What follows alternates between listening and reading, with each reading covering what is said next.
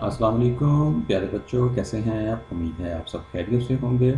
तो बच्चों, जैसे कि आपको मालूम है गूगल पब्लिशर्स आपके तदेसी अमल को जारी रखने के लिए और मज़ीद बेहतर बनाने के लिए वीडियो लिंक्स के ज़रिए आपके लिए लेक्चर्स का अहतमाम कर रहा है।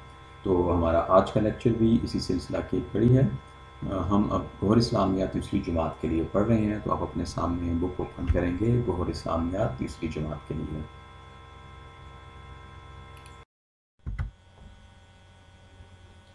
गौर इस्लामियात, बुक नंबर तीन। आज हम इसका सबक नंबर चार, लेक्चर नंबर दो पढ़ेंगे, सफ़ा नंबर पंद्रह और सोलह। तो बच्चों, जल्दी से अपनी बुक्स आप अपने सामने ओपन करेंगे, गौर इस्लामियात बुक थ्री, सबक नंबर चार। आज हम इसका लेक्चर नंबर दो पढ़ेंगे, सफ़ा नंबर पंद्रह और सोलह पे। सबसे पहले आप अपने सामने सफ़ा नंबर पंद्रह खोलेंगे। ये हमने सबक कल भी पढ़ा था, आज हम इसकी दोहराई करेंगे और फिर हम अपने आज के सबक की तरफ़ चलेंगे। तो सबसे पहले सफ़ा नंबर पंद्रह, बुक नंबर थ्री का आप अपने सामने ओपन करें। जी बच्चों सूर्य अखलास हमने पढ़ी, उसको दोबारा दोहराते हैं। उम्मीद है आप लोगों ने इसको अच्छी तरह याद कर लिया होगा। तो मेरे साथ मिल के पढ़ें सूरतलास बसमीम शुरू अल्लाह के नाम से, जो बड़ा मेहरबान, नहायत राम वाला है। कुल अहद। कह दीजिए कि वो अल्लाह एक है।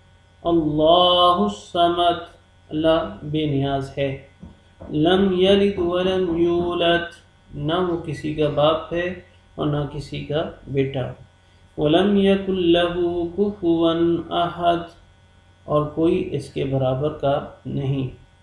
सूरह अखलास को बार बार पढ़ते रहें। इसकी बड़ी फजीलत बयान की गई है। इसके तर्जमे को भी ये जहन में रखें। इसमें अल्लाह ताला के बारे में ये बताया गया है कि उसकी कोई औलाद नहीं है। अल्लाह ताला का ना बाप माँ बाप है, ना औलाद है, ना रिश्तेदार है। इन सारी चीज़ों से अल्लाह ताला पाक है। एक बार मैं पढ़ देता हूँ। आप इसको बार बार पढ़ते रहिए। इसका सवाब भी है और उसमें अल्लाह ताला की वादनीत के बारे में बयान भी है। बसमीम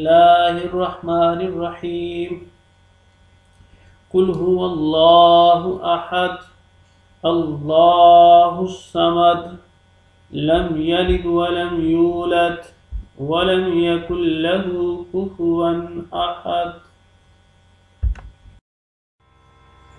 जी बच्चों, अभी हमने अपने कल के सबक की दोहराई की। अब हम अपने आज के सबक की तरफ़। अब हम इस सबक की मशे को हल करते हैं। आप और मैं मिल के हम इस सबक की मशे को हल करने की कोशिश करते हैं। तो बच्चों, सबसे पहला सवाल है, दिए गए अल्फाज की मदद से खाली जगह को पुर करें। दिए गए अल्फाज की मदद से खाली जगह को पुर करें। बच्चों, इसमें जो खाली जगह के लिए अल्फाज दिए गए हुए हैं, पहले हम उन अल्फाज को पढ़ते हैं। तीसवें, चार, वहदानियत, अल्लाह ताला, बाप। तीसवें, चार, वहदानियत, अल्लाह ताला, बाप। तो बच्चों आइए आप और मैं मिलकर इस खाली जगह को पुर करते हैं अब देखते हैं कि किस खाली जगह में कौन सा लफ्ज़ आएगा। जुज अलिफ है सूर्य अखलास कुरान मजीद के डैश पारे में है। सूर्य अखलास कुरान मजीद के डैश पारे में है। तो बच्चों सूर्य अखलास कुरान मजीद के किस पारे में है? सूर्य अखलास कुरान मजीद के तीसवें पारे में है। तो खाली जगह में आएगा, तीसवें पारे में है। जुजबे है। सूर्य क्लास में डैश आयात हैं। सूर्य क्लास में डैश आयात हैं। तो बच्चों, कितनी आयत हैं सूर्य मुबारक में?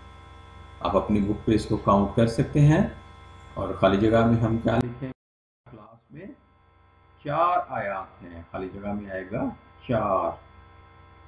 जो जीम है सूर्य क्लास अल्लाह ताला की डैश के बारे में बताती है। सूर्य डैश के बारे में बताती है। तो बच्चों, खाली जगह में क्या आएगा? सूर्य क्लास अल्लाह ताला की वहदानियत के बारे में बताती है। खाली जगह में आएगा वहदानियत।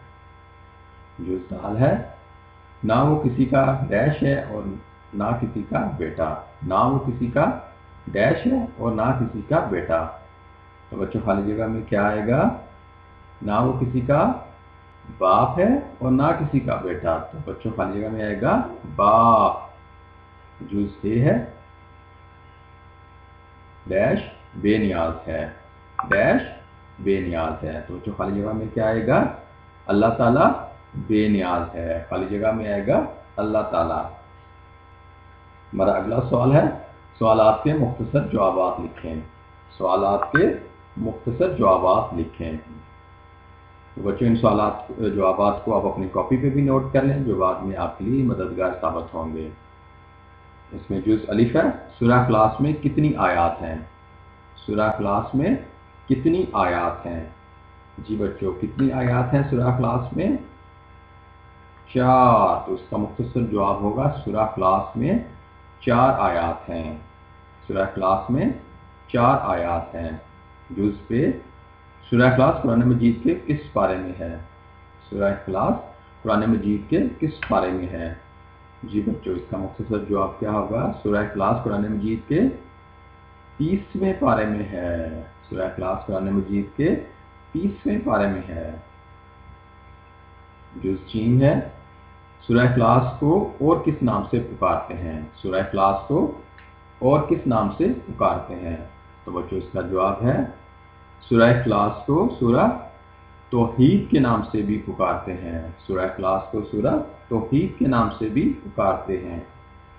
जो जुस्ताल है, सुरह क्लास पढ़ने का स्वाब क्या है? सुरह क्लास पढ़ने का स्वाब क्या है? तो बच्चों, इसका मुख्तसर जवाब है सुरह क्लास पढ़ने का, एक तिहाई, तहाई पुराने पाक पढ़ने का स्वाब है। सुरह क्लास एक तहाई पुराने पाक पढ़ने का स्वाब है। जो से है? सुरह क्लास किस बारे में है? सुरह क्लास किस बारे में है? तो सुरह क्लास अल्लाह ताला की वहदानियत के बारे में है। सुरह क्लास अल्लाह ताला की वहदानियत के बारे में है। जी बच्चों, अगला सवाल है, दुरुस्त जवाब पे टिक का निशान लगाएँ। तो बच्चों, हर सवाल के साथ तीन ऑप्शन हैं। हम देखेंगे कौन सी ऑप्शन दुरुस्त है। जुज अलिफ, सुरह क्लास में लफ्ज़ आहत कितनी मरतबा आया है? सुरह क्लास में लफ्ज़ आहत कितनी मरतबा आया है? ऑप्शन नंबर एक दो, ऑप्शन नंबर दो तीन, ऑप्शन नंबर तीन चार। तो बच्चों, इसका दुरुस्त जवाब क्या होगा। कौन सी ऑप्शन इसका दुरुस्त जवाब है? आप बताइए। ऑप्शन नंबर एक ऑप्शन नंबर एक इसकी दुरुस्त ऑप्शन है ऑप्शन नंबर एक दो मरतबा आया है। जुज पे लफ्ज असमत के मानी क्या है? लफ्ज असमत के मानी क्या है? ऑप्शन नंबर एक मेहरबान। ऑप्शन नंबर दो, बेटा। ऑप्शन नंबर तीन बेनियाज तो बच्चों, इसका दुरुस्त जवाब क्या है? कौन सी ऑप्शन दुरुस्त है? बेनियाज ऑप्शन नंबर तीन पे आप टिक का निशान लगाएँगे। ये ऑप्शन दुरुस्त है, बेनियाज। जो जीम है, सुरह क्लास पढ़ने का स्वाब कितना है? सुरह क्लास पढ़ने का स्वाब कितना है? ऑप्शन नंबर एक, आधा कुरान मजीद ऑप्शन नंबर दो, एक तहाई कुरान मजीद ऑप्शन नंबर तीन, पूरा कुरान मजीद बच्चों, दुरुस्त ऑप्शन क्या है? हमारे मतन में भी इसका जवाब मौजूद है। सुरह क्लास पढ़ने का स्वाब कितना है? ऑप्शन नंबर दो। एक तहाई कुरान मजीद। ऑप्शन नंबर दो पे आप टिक का निशान लगाएँगे। ये जवाब दुरुस्त है। जुजदाल है सुरह क्लास कुरान मजीद के किस बारे में है? सुरह क्लास कुरान मजीद के किस बारे में है? ऑप्शन नंबर एक बीस में ऑप्शन नंबर दो अट्ठाईसवें ऑप्शन नंबर तीन तीस में। जी बच्चों, कौन सा दुरुस्त जवाब है?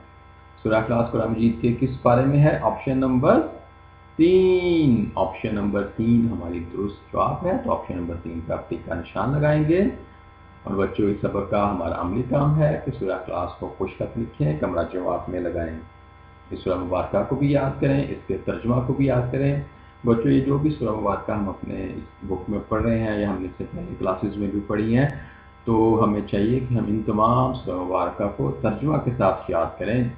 इनका बहुत स्वाब है। और हमें चाहिए कि हम नमाज़ में और अपने आम रोज़मर्रा लाइफ में हम इन सुबह मुबारक का ज़िक्र करते रहें, हम इनको अपने दिल में पढ़ते रहा करें। तो बच्चों, आज का हमारा ये सबक ख़त्म हुआ। इन कल के सबक के साथ फिर हाजिर होंगे। तब तक के लिए अल्लाह हाफिज़।